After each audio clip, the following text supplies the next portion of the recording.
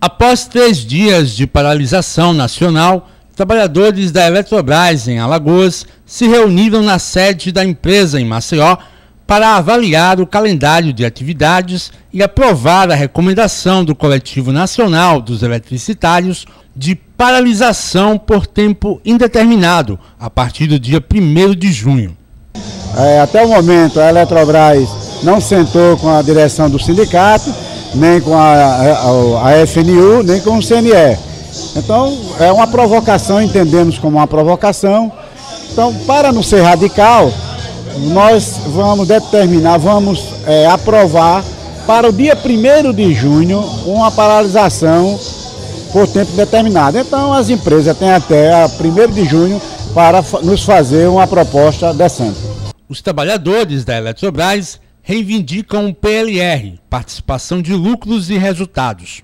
A gente vem construindo essa proposta, um termo de pactuação, desde setembro do ano passado.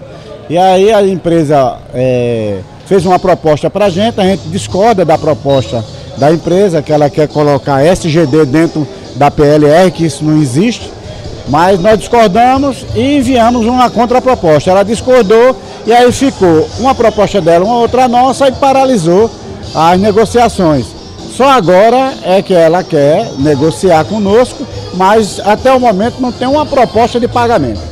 O sindicato avalia que a paralisação de 72 horas teve adesão de 90% dos trabalhadores.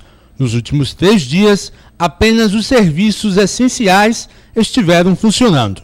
Avaliação positiva, né? A nível de Brasil está todo paralisado.